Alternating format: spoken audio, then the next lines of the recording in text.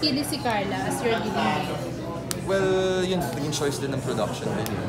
We want to work with. And uh, we've seen Carla, I've seen Carla's films din yung smaller and smaller circles. She's really, Ang galing niya doon. really good in that film. And uh, yun nga, yun, we believe she's a very good actress. That's why we So gaano kainit ang love scene niyo dito, Brad? panoorin nila. Ayun naman yung panoorin eh. Sige nga, para may patikim. May Dali, kwento mo naman. May nag-chika na ex mo kasi siya. Wow! Ah, ex mo si Ex mo daw Carla. eh. We're good friends. Gano'ng katagal? Ha? Bakit hindi na balita masyado yun? Well, wala naman talaga yung babalita. Grabe siya. Nataas ang hindi mo malatang meron. Gano'ng katagal kayo naging kayo? We work together in the film and plus magkapit-bahay din kami. So, we're, Hindi yung relationship, gano'ng katagal? we're Bakit ba? friends. I've known her ever since bata pa ako, 16, 17. Hindi, sabi mo ex mo siya. Wala ako sinasabing ex, ah. Sabi ko sa'yo, ex mo siya, okay? Linawin mo na naging kayo before. Ha? Naging kayo before. Wala, wala. Ni Mads. Very good. Oo, Well, alam hindi ko. deny. Ano nga, meron? Uh, we're friends, we're good friends. Parang alam ko yung chapter. Chapter? Ah, Parang ano yan? Short ano lang ba yan? what? Short leave. Wow. no, we're really good friends. Yeah, we're really good friends. Like, you know, she's a very awesome person. She's a very lovely, very intelligent person. Yun, I, I like spending time with her. I like having conversations with her. Oh, dali na. Gaano kainit yung love scene niyo? Kwento mo saan nangyari. Sige na, kwento mo lang konti. Ah, panoorin nyo na lang. Ano ba yan? Bakit masyado ka malihim when it comes to your love? To my love life because I really hold it really close to my heart. And I'm very protective of my loved ones as well. So, yun. Um, in regards to that now, um, why very Girlfriend ni Derek. secret about my love life is uh, Ay, grabe ah. Mas matinig ka, mas matinig ka pala kay Jolo ah. Girlfriend. Sinong ex niya? Madami akong girlfriend. Then lang. Special someone. So ex mo si Joanne? Way back college pa kami nung Ah, okay. Yeah. How do you feel now? Ha? Sila ni Derek. Ang tagal na nila. Ano ba? Pero hindi Tagal ikaw na yung- nila. Hindi ikaw yung dad ng anak niya. No, no, no. Hindi ako yung dad niya. Hindi ako yung dad niya. kayo friends pa rin. Me ni Joanne, yeah, we're friends. Halos barkada kasi kami, we have the same set of friends din kasi. So, yeah, So we're naging okay. kayo nung 2009 pa yun, tagal na nun. Tagal din kayo, di ba? A year? A year? college siya? College. May marami ka naman pala naging girlfriend. Bakit hindi ka pa nag-aasawa hanggang ngayon? Yun din ang tanong ko, bakit di pa ako nag-aasawa? Actually, Tanong ko sa there sarili ko. munti ka ng ano. Montek na. Were Yeah. you engaged na, right? No, no, I was never engaged. Yeah. Yung Sa doktora mong girlfriend. Oh, that's pag-usapan na.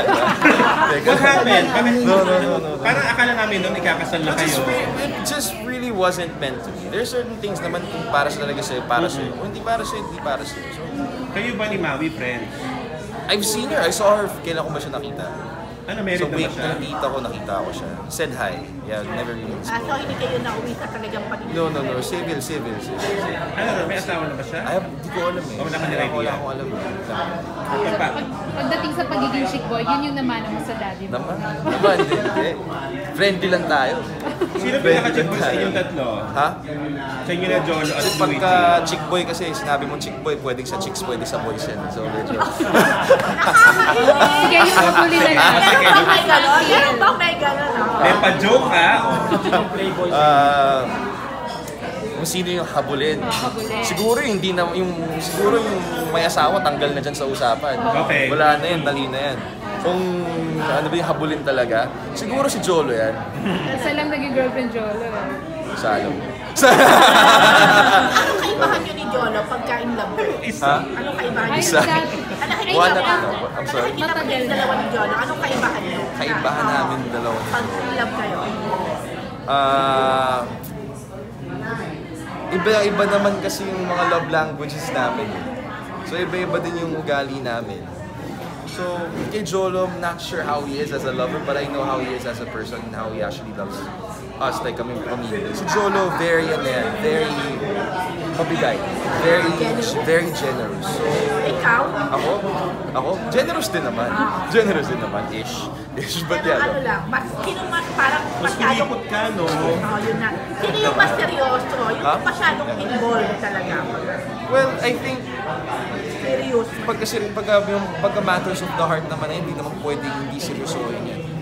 Yeah, so of course, like, you know, if you get into a relationship, you really have to be serious with what you're doing. Pre, parang mas matagal magrelasyon si Joel. Matagal na nila ni Jones eh. No? Mas- Ikaw hindi ganun. Wala ka man tumagal na ganun katagal. Wala ka bang ganun ka-intense? Eight years. Uh, I had an ex for four years. Four years. Ah, Four okay. years. Kanino yan? Wala na sa States na. Tapos, Bryce, sa tagal na, ano, parang part na ng family niyo si Jody. Naging close ka rin ba kay Jody? Naman, yeah. Jody, Jody is, uh, Jody's like my sister. Ako, I really love her. And sayang na, na hindi sila nagka-migrate ni Jody. Hindi naman. Ano pa naman may chance pa? Sa tingin mo? I hope so. Because you know, there's they they're such they're they're good people and they really look good together. And actually, yeah. Dumadalaw pa siya sa dad mo ngayon. Si Jody. Jody, no, I don't think. Ah, mula nung nag-break sila. Yeah. So, ikaw gusto mo sana si Jody na lang for Jolo? Well, at the end of the day, choice ni Jolo yan. And I think like kung ano man yung opinion ko dyan, it wouldn't really matter. Kasi hindi naman po ako yung nakipagrelasyon dun sa tao na si Jolo. Pero Kasi tinatanong- mahal ni Jolo. Dun, dun lang. Nag-share siya sa'yo. Ikaw, nag also. Yeah, we'd get to talk about that. Yeah, we would get to talk about that. Especially pagka yung mga matters of heart. So, yun. Ako mag-share ako kay Jolo. Well, yeah, of course. Pero wala ka talagang girlfriend. So, mo ikaw na lang. Ako. Taken na yun. Wala. Ano ba? So, sino mauna sa inyo? Tingin mo? Ha? Ni Joel. Sino maunang magpakasal? Hindi ko Di ba alam. pa nga, pag ikaw mas matanda, ikaw dapat. Ako, I wouldn't mind kasi naunahan na rin naman ako ni Ine. Tsaka pagka pagkalalaktawan ka, di ba dapat nagbibigay yata sa'yo ng pera yan, di ba? So, ako okay na. Ha, wala pa Oo nga, si Ina pa yun. Uy! Yung having a baby, hindi pa rin ako consider. Well, I would rather, I, I, I would consider marry, mar, dapat marriage Marriage first. Yeah. Yeah, I would love getting ka married. Ay, hindi po. Nag-aral ka lang. Ako ba, PCM? No, no. Sa lighthouse. Lighthouse. Ah, tayo. Lighthouse. May may tanong ako, Brian. Nalaman ko lang. There was a time nag-date kayo ni Yassi pala. They were friends. We're good friends. Kaya ka na naman sa friends eh. Yung totoo. You, date, you dated. For how We get to hang long? out with the same people. Oh, for the Until record, now? yung, Until now? no, no. Brian, for the record, yung mga artist, sa artista, ilan naging girlfriend? Friends Sino lang po yung alam nyo? So, si Maui, si Carla, si Yassi. Ha? Ah, hindi. ano, hindi. Ha? Ah, yun daw, si Si Maui, si Carla, si Yassi. man? Hindi. Hindi ako sasagot. Eh I plead the fifth. I refuse to, uh, ano yung line? tapos si ano, di ba si Erich nalilink din sa'yo? ha? Si Erich. Hindi naman we're friends. Ay, ang nangyari kasi naman yun, yung, yung kay, kay Erich naman yun. I supported their film because si Direct Richard Somes, saka yung mga iba doon, makasama ko sa pelikula.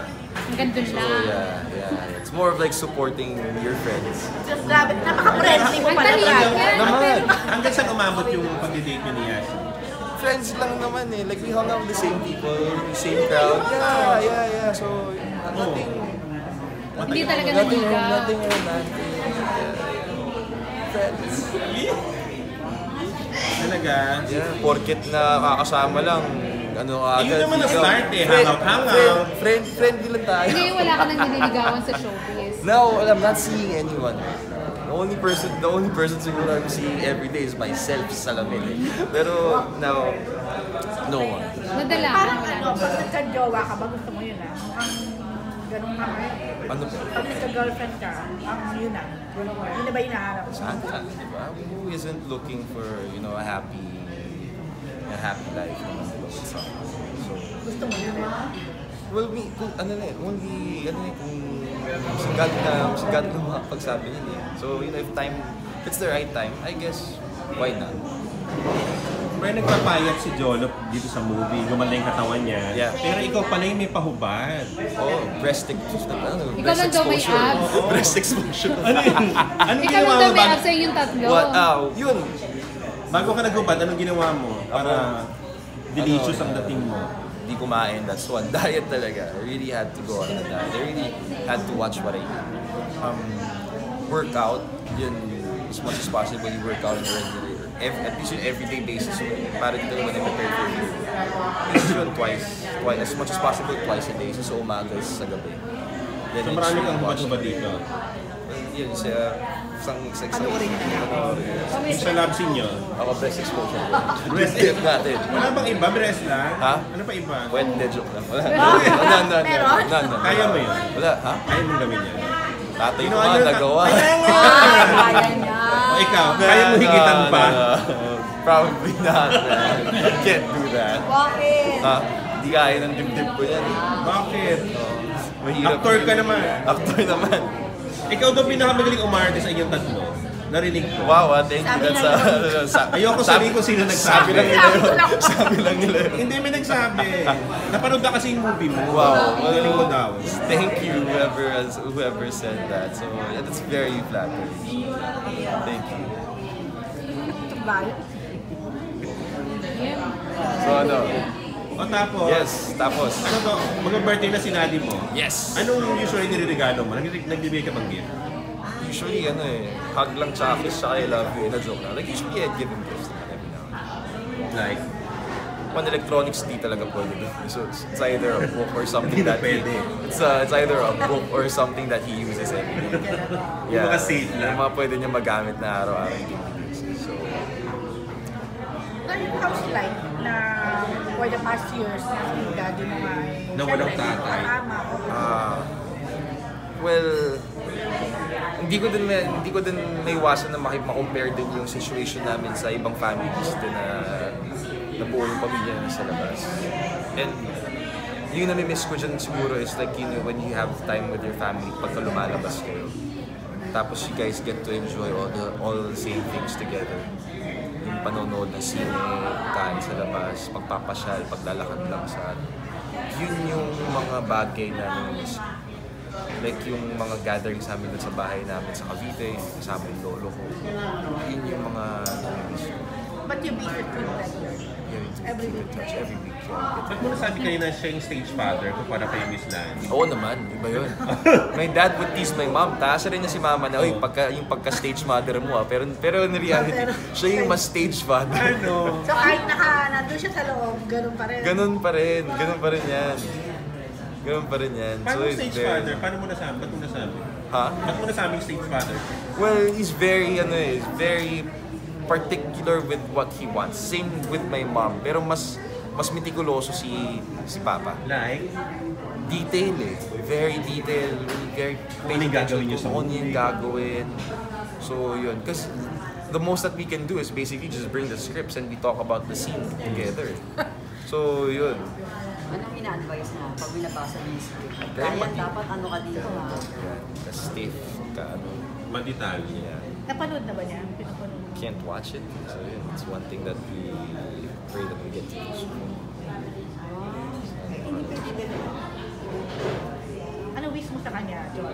Brian, Siyempre, uh, wish ko kay Papa, uh, why yun talaga, freedom.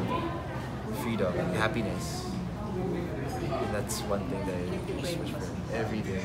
Joanna, may dalawang tanong. Kung dun sa Brian. mga nangyari, ay, Brian. ay Brian, sorry, sorry, sorry, sorry. Sa mga nangyari, ano yung, kung may, may regret ka ba na, bawa, pinasok ng dati mo yung politics or whatever?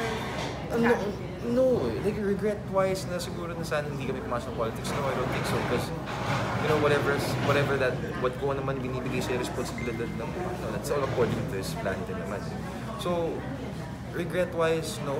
I think in life, we're all bound by decisions that we make. And kailangan mo talaga panindigan yan. Kung, kung ito yung nangyayari sa family namin ngayon and we have to face these certain things in court, we, we will face this in court. Hindi lang hindi kami sa tama.